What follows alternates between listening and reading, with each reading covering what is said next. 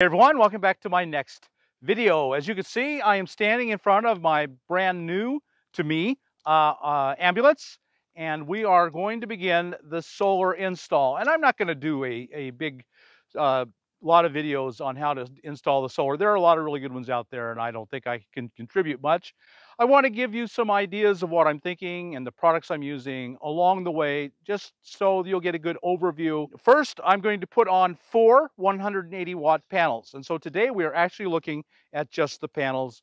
And uh, to give you the broadest overview, it will go, those four panels will go in series, meaning it will go out as 88 volts.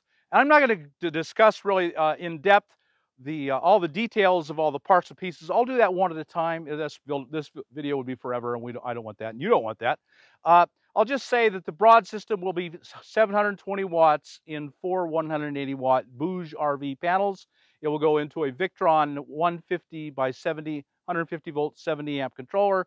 From there, it will go into right now two Battle-Born lithiums, um, and then it will come out into a Xantrex 2000 pure sine wave inverter. I'll talk to you all about that in separate videos. I'm not going to try and combine them all into one. It'd be impossible. So today we're only talking about the Bouge RV solar panels, which these are two, uh, two of them just arrived from Amazon. They're still at Mail Messages and More in Pahrump, Nevada, where I get my mail.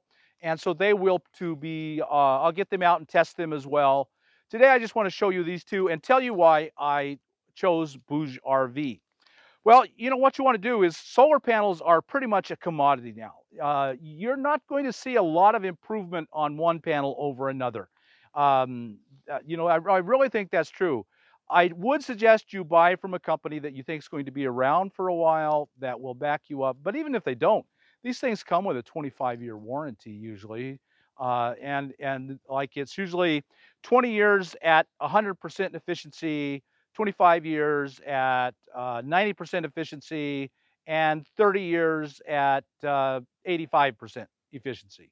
Uh, and it varies. That's what's going to vary is exactly the time frame, but they are going to last you forever. And I, I have bought really ex expensive panels and I bought really cheap panels and I've not seen any difference in the long run over their quality or their um, or, or uh, their power output. So why am I going with Bouge RV? Well, I got to be completely honest with you. I did a review of the Bouge RV fridge, which I was very happy with, and so far, so really great. A very good fridge, does exactly what you want a fridge to do. Uh, and so once you start a relationship with a company, they want to send you stuff. And there's all the time writing me and saying, Bob, test this. And I always write back and say, no. One day they wrote and said, hey, Bob, test our solar panels. And I said, oh, free solar panels. Now, maybe that makes me a monster. I just think it makes me smart. I said, oh, okay, free solar panels. I just bought an ambulance, my, my new solar system for free. Uh, and but what I wanted to do, I know how that looks. And that looks like, well, they've bought my review. I'm only going to be telling them what they want, they want me to say. And I understand if you respond and feel that, because that's what I would feel too. So here's what I did. I ordered two with my own money uh, so I have $360 plus tax invested in my solar panels. Now, before we, uh, I'll, I'll show you, tell you here just a minute how I test panels. First, let me measure them for you. Uh, the first thing you do when you're thinking about buying a panel is you make sure you have room on your roof for that panel. And uh, so that's number one is measure, climb up on the roof, look around, where will this fit? If I'm going to order two, where will two fit? If I'm going to order three, where will the three fit? If I'm going to order four or more, where is each one going to fit? And that's why you have to have a tape measure. And that's the very first thing you do when you're considering any solar panel is find the, uh, the dimensions and fit it to your roof first. Uh, this is a good size. I think 180 watts is a good size. It's not as small as the 100, but it's pretty easy to find the space. Of course, I've got an ambulance. I got tons of room. I don't have to worry about room up there. So four of these are going to go up there and I could put them one in each corner and still have a huge amount of room. Um, and so I don't have to worry about that, but you do. When you buy a solar panel, first thing you do is measure. So this one is um, 26 and a half wide. So go up on your roof, measure, oh, you have to have a space that's 26 and a half wide and um, 58 and a half long. Uh, so you've got to have that much room for however many panels you want to buy. They don't have to be beside each other. I'm running these in series so I can use a smaller wire and have a longer run. That's my goal.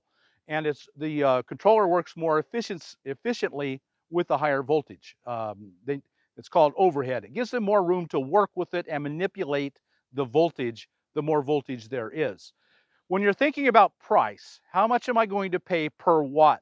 180 watt panel, I don't want to pay more than a dollar a watt. I don't want to pay more than $180 for that panel. And it came in with all of my other solar supplies. So I paid nothing for shipping, free shipping from Amazon Prime. So that's why I'm buying, I'm using, I'm buying the Bouge RV and I'm buying 180 water instead of one of the really big panels. Okay, next, when you get your panel, you want to check it to make sure it's working. Whatever, where, whatever panel it is, wherever it came from, you want to check it.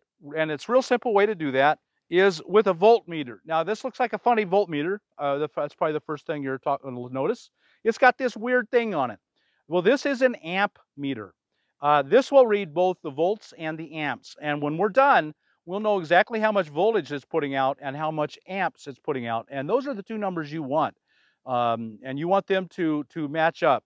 This was like $35 on Amazon. I'll put a link in it. I recommend, you probably already have a voltage meter. Uh, and if you don't, you should have, if you're at all handy around your rig. But the amp meter is so simple to use. I really, really recommend at any time it will check 12 volt and 110 volt. That's what's unusual. There have always been amp meters for 110 volt, but they're much more expensive and they're just 110 volt. To get them inexpensive for uh, 12 volt and 110 volt, that that's new. And this is a fantastic one. I've owned, uh, I had one of these before and I left the battery in it and it corroded and I had to, it was just such a mess. I had to throw it away. Um, and I bought another one of exactly the same kind. This is a, a very good it's a cheap tool. For $35, this is incredibly cheap. But it works really super well, and I highly recommend it. There'll be a link down below. I am an affiliate. You, I will earn a little bit if you buy one. I highly recommend that you buy one. I'm going to have my friend Robert help me test this. So how do you find out the voltage on a panel? Well, they all come with these two uh, MC4 connectors.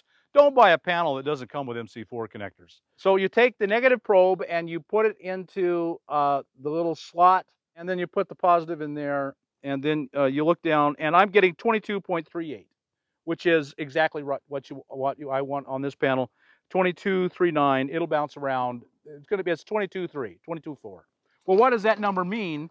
And so to find out what if that's the right number, you turn the panel around, and the panel will always have a little tag on it like this. And if it doesn't have a little panel, panel tag like this, you don't want it. This is what they should all have and it'll give a bunch of voltages. Maximum voltage is 19.5, open circuit voltage is 23.8. And so uh, it's right about where we want it to be. So let's look at amps. Amps, it's putting out um, 9.5. That's how many amps you want out of it. And because I have an amp meter, we can test the amps. Let me show you now how to test the amps. Uh, and a lot of people will tell you this is unsafe, uh, but this is actually uh, the standard way you test amperage on a, on, a, on a new panel is you just take the two and you put them together. It won't blow up. It won't explode. There won't be any fires. Uh, now it's it, it's it's uh, wired to protect itself from doing this from this happening. And now uh, the amperage is flowing through it. So we'll turn it back over, turn it back around, and we'll get some sun. And we're looking for about nine seven amps. What are we looking for? Yep. Nine nine two nine five. So uh, we're looking for about nine two amps. It's just got a switch. I've changed it to amps. The way you test the amps is to, uh, it's connected together, power is flowing through it. Uh, you take your amp meter and you just open it, really simple, open it, and now the power is flowing through it, and it's 8.1. And you think, oh my goodness, what's wrong with your panel? You bought a crappy one. Well, there's a little secret, and that I'm afraid people, um, let's, let's lay it down flat and do it again. And so you got it laying flat on the ground and you do the amp, and now it's saying 8.5, 8.4, it's bouncing right around 8.5. You think, oh my goodness, it's not putting enough power. What's wrong? I got crap. No, no, no, no. It, yeah, I'll show you the amount, the amount of difference it makes tilting and tracking the sun. It's really important. So I think that's about even. You can always look at the shadow. If the shadow is running about directly parallel, then you're at 180 degrees, you're in line with the sun. And, and then you check the, uh, and now I'm at 909 and let's slowly drop it. 92, 93, 94, 95, drop it a little more, 96, 97, 98, 99, a little more, 10. I just hit 10 amps. It made that much difference. I jumped from 8 amps to 10 amps, just a 20% increase in power just by tilting and tracking. So when you test your panel, don't just lay it on the ground. Uh, and it's not noon yet. It's only about 10:45 uh, here. At noon, it will be even more important. It'll get even more power at noon. Uh, so factor all those things in. This this panel is porting out more amperage than it's rated at at this moment uh, uh, because it just is a good day. It's a good solar day for sun. And if there were any clouds, of course, it'd be putting much less out, or any haze, or the sun, if it were earlier in the day and the sun was lower on the horizon, it would be putting out less. You have to factor all these things in when you test. Um, so it's putting out 10 amps at about, uh, what did we say it was at? 22, 21 volts, uh, which perfect. It's running perfectly, and we've tested them both now. Both of these are working exactly uh, how they should, and so they pass the test with flying colors. And when I pick up the next two, I will test them in exactly the same way and I fully expect them to pass. So this little voltmeter has given me a lot of really good information, and I'm completely confident in these two panels. Um, and so now we'll install them. Uh, let me show you one little thing here. I'll give that back to you. Thank you, Robert. Uh, I'll show you the uh, feet we've already mounted the feet. They just, there's a hole in the panel. They go through the hole where it mounts into. And so it's got a bolt that goes through there, and then these will screw straight in. You must always have feet that lift it off. You can see it's up about an inch. You have to have airflow. Panels want to be cold. Uh, that's another reason why we're getting more, we're overamping right now because it's still a little cool yet. We got a breeze, so it's moving, it's got air moving all around it. Um, and so it's cooler. And so when a panel is cooler, it's going to do a better job of producing more power. Okay, I think I've given you enough information on this panel. So, so far so good. I'll get the other panels in and test them and uh, get right back to you with how uh, they're performing. So I got the other two panels in and uh, they are working perfectly just like these two are. So I can, I can highly recommend at this point, Bouge RV solar panels for $180, a dollar a watt for 180 watt panel. I think the size is really good for you to be able to find a space on your RV.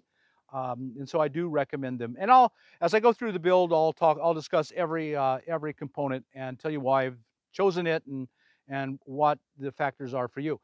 I think for most of you, a single 180 watt panel would be just fine. I think 200 is what I recommend. I think a pair of these for $360 and get a 40 amp controller, that's a perfect system for nearly all of you.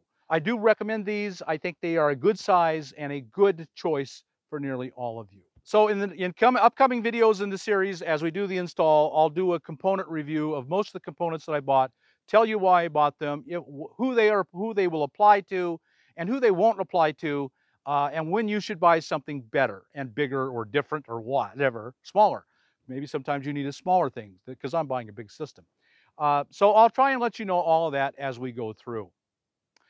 So if you got anything out of this video, like us on YouTube, subscribe to the channel, hit that thumbs up button, and we'll talk to you later.